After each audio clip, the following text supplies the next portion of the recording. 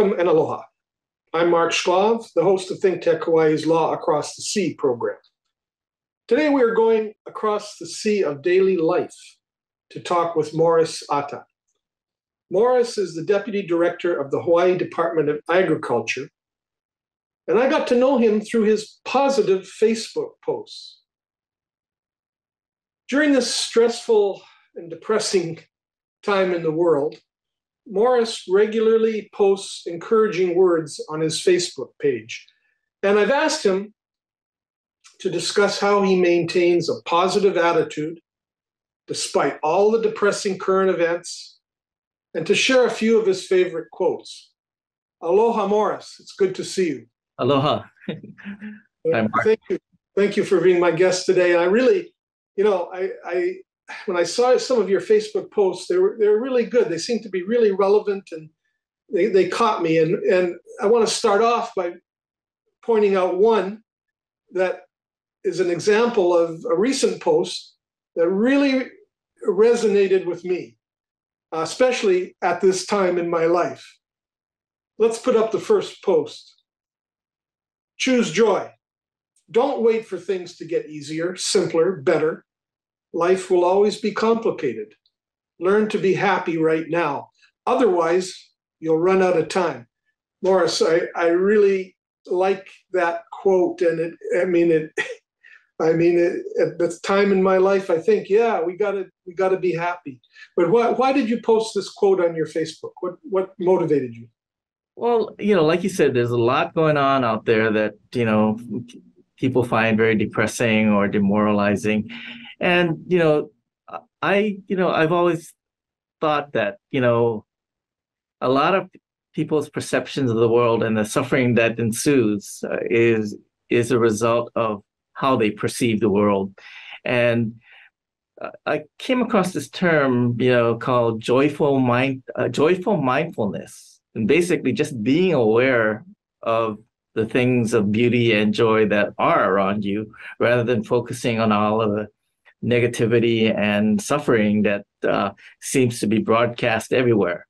And that's kind of where that quote uh, came from.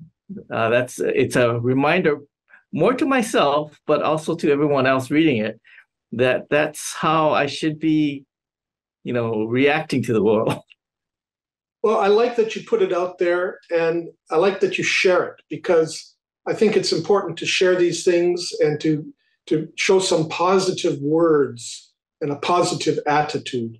Now, I want you to talk a little bit about your background and, and then we'll go into some more quotes. But you know, we we we local boys, we always ask, where did you go to school? So where did you go to school? And tell us, uh, you know, how that affected your your life. Yeah, well, you know, um, I, I, guess I should go back to my family origin is that we're, you know, an immigrant family. And my family immigrated from Okinawa after the war. And so we basically started pretty much from nothing. And so we're all public school kids. And I ended up going to Roosevelt uh, for my high school. But I was fortunate enough that I ended up, you know, going, um, getting admitted and going to Yale. And at the time, I didn't realize how fortunate I was to be given that opportunity. But um, then you know, I ended up while I was at Yale, I I thought about what I wanted to do. I actually went to Yale uh, to go into medicine to study uh, you know neurological research because I was fascinated with how the mind and the brain works. And that, but midstream, I just my focus shifted and I ended up deciding to go into law. so I ended up at NYU, uh, and you know got a law law degree in New York, and and then you know that was the start of my career here in law. Okay, and and was there anything in that background that gave you um, hope, or was there anything that was made you come to this point of having a positive attitude? Well, like I, like I said, you know, coming from an immigrant family, you basically start from scratch. and uh, I remember when I was young, I used to think, you know, why is it that we don't have the kind of things that everybody else has? And I always wondered about that. But then having gone to Yale after you know doing well in school, um, it made me realize that you know the obstacles that you you know encounter um, can be overcome, and if someone like myself uh, can make it and um, succeed and you know achieve what I have achieved, um, there's just hope for everyone. I, I know everyone's circumstances are not the same, but it's possible, and that, that possibility gives me great hope. Well, yeah, I- mean, and it's very hard to get into Yale. Okay, Yes, it is. uh, and and you and then go to law school. Uh, it also, I think, probably would have been tough too. Uh, and but I'm, I'm sure having the background of Yale uh, would have helped. Uh, now, you you went to law school in New York, and Yale is on the mainland. Why did you come back to Hawaii? What what motivated you to come back to Hawaii? I always uh, maintained a strong bond and affection to Hawaii. And, you know, one thing about Hawaii is that it's very unique. Um, you know, uh, there, the spirit of aloha and the, the notion of, um, you know, respecting and loving and learning from the Aina, the your kupuna, and, you know, your uh, forebears is very strong here. And um, I've always had a very strong affinity and bond to those values. And so it felt just natural to return home and see what I could do to basically pay back what what this place has given me uh, in in whatever form I, I could. And so I've, I've always had that drive to to do that. Okay, that, that's good. I like that. Um, I mean, uh, to learn that about you, uh, I also went away to law school and came back to Hawaii, my home. Now, I want to I want to start talking about some of these quotes because that's really what uh, motivated me to ask you to be my guest today. And I'd like you to start sharing some of your quotes. Let's start with your the first quote that you would like to share with us, and tell us why it is, it's a favorite of yours. Peace is not when everyone agrees. It's when we can respect our disagreements and still play in the sandbox together. And it's particularly, you know, uh, pertinent to these times where we have extreme divisiveness and, you know, um, polarized uh, thinking and behavior that people have forgotten that um, we can disagree and actually that disagreements are are a good thing. It introduces a diversity of ideas and perspectives. But oftentimes you see it used as a weapon of you know confrontation and aggression. And unfortunately people have forgotten that you can still play together and disagree. And that's where this quote you know you know sort of struck me. Okay and you talked a little bit about your family background and also your schooling, your education, and why you came back to Hawaii. Um, now, you, you, came back to Hawaii as a lawyer. What was your professional journey? What did and and where did that end up? Where are you now? Well, first, uh, like most typical young lawyers, we're, we're, sort of raring to go and jumping into um, the profession and not really certain where in the profession you're gonna you're gonna end up. I started out in practicing in, in real estate finance um, and uh, a bit of environmental law practice, and I. It, was interesting because in the private sector, uh, a lot of your decisions and your activities revolve around economics. Um, but coming from my background, I was more interested in the um, aspects of law that helped shape our our humanity and our social values. So eventually, I ended up uh, first trying out the um, in-house counsel private sector uh, to see if that you know, would um, kind of provide those kinds of issues and work. But the but eventually, I ended up uh, ending up in government practice. I, I first started as uh, one of the uh, research attorneys for the the Senate And that was fascinating because I got to do a lot of legislative work in the areas that uh, I had interest in. And I felt like I was contributing to, to Hawaii's betterment by improving the laws and drafting statutes that protected and supported Hawaii citizens. Um, eventually, um, the executive branch noticed my work at the legislature, and I was asked to uh, go to the executive side at DLNR as their land administrator and uh, special projects coordinator. And then I, over time, I ended up here at Department of Agriculture as their deputy. Uh, so that's kind of my my legal journey of uh, how I ended up here. Okay, yeah, and I, I can see that your personal and professional background are kind of mirrored in some of the quotes Yeah. that, that you that you put up on your Facebook. And let's let's talk. What, what's what's the next quote? Next one of your favorite quotes and why? Okay, this is somewhat of a continuation of the the last quote, in that um, the quote being everything we hear is an opinion, not a fact. Everything we see is a perspective, not the truth, by Marcus Aurelius. And the reason why I like that one in particular is because of the prevalence of um, misinformation and disinformation that's used in the public uh, sphere to influence people. And and it's sort of a reminder to myself you know on a constant basis remember you know what you hear is not necessarily the truth and what you see is not not necessarily true. And uh, you know i want to share that because people need to be reminded of the fact that you know what they're hearing out there uh, in in the on the news in gatherings and whatever is not necessarily everything or, or, or truthful or uh, does not always have all of the facts. And just to be aware of it it's you know it's fine to have an opinion about things but at least you know be aware that you may not know or see everything. That's basically it.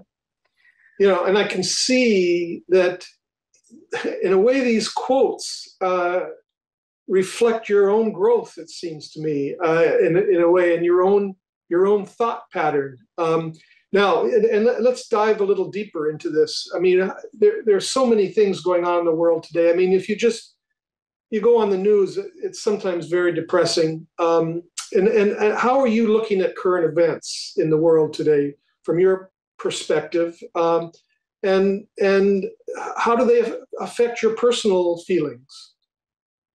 Yes. Um, I I somewhat have a a Buddhist perspective on on the world, and you know, embracing the notion that everything is temporary, that eventually all phases and all events come to an end, and new new events and new things happen, and if you look back at history, you know, it, it, it will tell you the same, you know, lesson that no matter how bad things are at any particular time, we overcome it. You know, uh, humanity overcomes and it changes over time. So I view these types of negative or you know, hurtful events as being momentary. And I, I'm always looking to, to see when those things will shift. And I'm always optimistic that those shifts will occur uh, and that's how I maintain my optimism. For, you, know. you, you, don't let them beat you down, is what you're saying. Yeah, I, I acknowledge that they exist, but I also acknowledge that it's not a permanent condition. Okay, all right, and and with respect to things like Ukraine or racism um, what I mean, are, you, you see those as temporary events, and in your philosophy, they will pass. Is that what you? Is that? Am I reading that right? Yes, you are. But you know, while acknowledging that they're temporary and eventually they will pass, and it's all a a question of, um, I guess, scale. Um, if you're looking at um, you know periods of history, and the eras that have gone by, you know, wars and famines and uh, persecutions, they all exist and they are they're all horrible and and uh, and you know need to be acknowledged as, as such. And you need there's a mindfulness component to this in that you're not ignoring them and you're not letting it uh, make you numb to humanity and compassion. But you're aware with the realization that at some point in time we will overcome all of this. And it's that bit of hopefulness and and confidence in the future that keeps me going. Okay let, us go to another one of your favorite quotes. Uh, let's go what would be the next one this one is a favorite well let me read it if you ever feel like you're the only one who doesn't have have it figured out listen close life is not tidy growth is not linear. We are all wanderers. We are all learning. Uh, and this is the part, the twist that uh, tries to give people hope, and that you know, acknowledging that there are things that are not as you would want them to be, but acknowledge it and move on, and you know, uh, and keep going. And it's, you know, it, it's an acknowledgement that we individually and as hum, as a whole are not perfect. You know, basically we're all imperfect beings. And let's continue to learn and constantly try to evolve to what we want to be is the message of this of, of that quote. How, how did you start to get involved with these in, in these inspirational quotes or you know where did you find them and what motivated you to put them on your Facebook uh, in the, in the first place? I think my entire life, I've I've always appreciated, um, you know, quotes, you know, and positivity positivity um, statements, but I really began to actually collect them uh, when I got onto uh, social media and Facebook, which is about ten years ago, and um, it started not so much to be a you know uh, someone who is posting to share, but more for my own personal self growth and re- and a reminder to myself, a daily reminder to think in a positive manner. And so this constant self reminder, it's it's kind of like like how mantras work and uh, and meditation work. You repeat it, you repeat it, you repeat it, and eventually some of it rubs off and it beca- really becomes part of you. And that's kind of the concept of what I was trying to do with myself by posting on Facebook. So doing it was actually a way for you to get through every day. It, it sounds like. I mean, you were inspiring yourself. And where, where, where did you get these quotes? Is there primarily a... um, to reading yeah, yeah. It, it, was primarily to reading and and social media. I mean, obviously because I I had you know jumped onto social media and I started focusing in on uh, those types of inspirational um, posts. And after a while, I thought, well, this is a good idea. That why don't I start collecting them? Maybe I can I can remind myself or use them as a reminder. And that's basically how you know I ended up with this these uh, quotes as a collection. And so it really it's it's helping you daily is what I hear. And that, this is, I mean, it's interesting that this is a positive aspect of Facebook or social media. Really, uh, it's being used in a, in a in a in a good way, and and for yourself, but other people like myself, I've seen it, and I I like I like the quotes that you're putting up, and it helps me also daily. It's, so thank it's, you.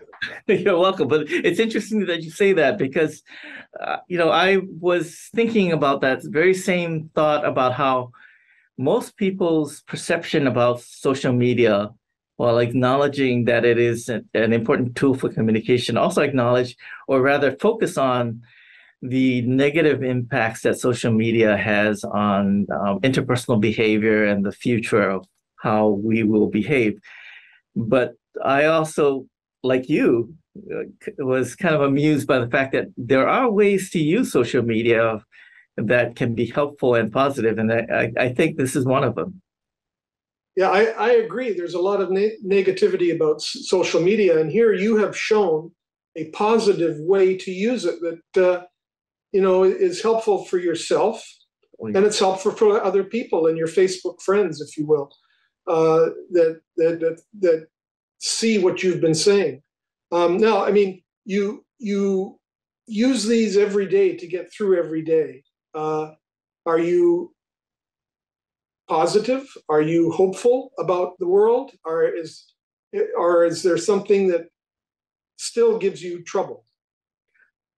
Yes, uh, I would say that you know, generally speaking, I'm I'm a positive person, and I I do get affected by what happens in the world. Um, but I also you know acknowledge that you know there's always going to be um, impactful events that you know bring you down, make you feel bad, or uh, or you know question you know how the future is going to turn out and all that. But acknowledging them and being mindful that they're there, I, I believe is a good thing. It's just what what do you do with it that is important. And my strategy for dealing with it is okay, acknowledge it and feel what you feel but have faith and, and move on and believe that things are not always going to be this way.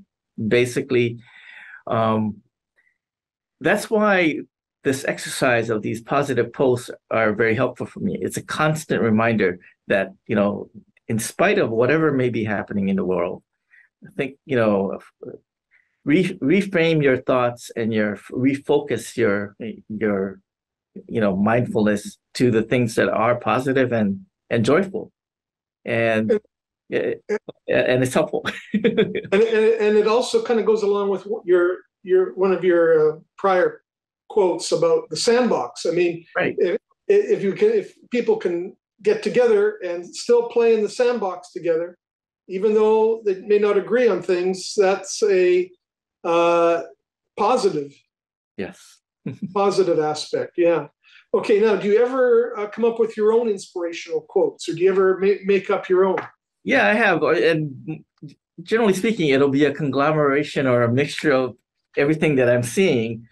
But you know, I have, but I had a, a quote uh, that comparison is a thief of joy, and because I saw a lot of that, how pe- people you know, deprive themselves of, of joy by comparing their situation to others. And, you know, I also came up with this other phrase that resilience, character, and creativity are the offspring of failure, acknowledging that there will be failures and you need failures to remind you of the strength and the positive, you know, characteristics that, that you have. So you know, I yes, I do come up with my own quotes every now and then. and those are based on your own life experience and uh, your your own thoughts, and right. maybe maybe also uh, based on your uh, history of the the favorite quotes that you've used in the past too. Maybe is that would that be correct? Oh, that's a, that's a very accurate description of how, how that thinking process works. Okay, let, let's let's talk about one of your next favorite quotes. Uh, what what is this next one about? So I thought, you know, this quote kind of uh, encapsulated. Well, how do we deal with everything that's going on, and how do we keep moving forward? And and what do we need to acknowledge about ourselves to trust that we're going to make it? basically that's kind of the just and the the quote reads that the only dream worth having is the dream that you will live while you are alive and die only when you're dead to love to be loved to never forget your own insignificance to never get used to the unspeakable violence and vulgar disparity of life around you to seek joy in the saddest places to pursue beauty to its lair to never simplify what is complicated or complicate what is simple, to respect strength but never power, and above all, to watch, to try and understand, to never look away, and never, never forget. And so it's an acknowledgement that you have to go through life, and life will come with all of these challenges. But you remember to watch without giving up, and you and constantly watch so that you're aware and uh, of what is happening and still still push on and this quote was from arundhati roy who's that yeah. Well she's a indian novelist uh, who's also a human rights activist and so she posts a lot of these uh, types of quotes that have to do with human suffering and pushing through it and and you know uh, keeping on you know keep going in spite of the challenges of life. You know and i've noticed that a lot of your quotes are like that. I mean your your your quotes are not just happiness happiness. They are recognizing that there are some downsides in life and you got to be strong you got to push through them you got to that's life and you got to live with it. And that's what i i see now as we talk in a lot of your quotes is, is just that recognition, that understanding, yet you use a positive attitude and, and, and the right words to, to push through. Is that, am I reading this right? Yes, exactly. Uh, that's the, the message that I'm giving to myself and sharing with others. And well, let's go. Let's, we have a minute left in our discussion. What personal advice would you, Morris Atta, give to others, especially here in Hawaii, who are facing depression, frustration, or material changes in their lives? What what is your advice to them? Well, basically, first acknowledge that, that the pain is real.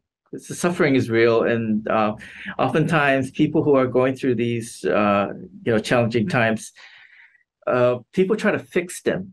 They don't acknowledge what they're going through. So first recognize and allow them to feel what they're feeling. But the main thing is that know that you know there are people around you know who will sit through it with you and that things things do change. Basically everything is temporary. At some point in time it will change. And uh, the fact the very fact that we are still living is a record of the 100% success success that we have in overcoming our challenges I, I really appreciate that and you are actually using social media to sit with people as well as yourself to recognize uh, downsides but to look for upsides and and I really appreciate that. And so thank you, thank you for being my guest today. Thank you for your uh, sharing words of inspiration, and uh, look forward to uh, more on your Facebook page. Thank you. okay. Morris Atta, thank you very much. Aloha.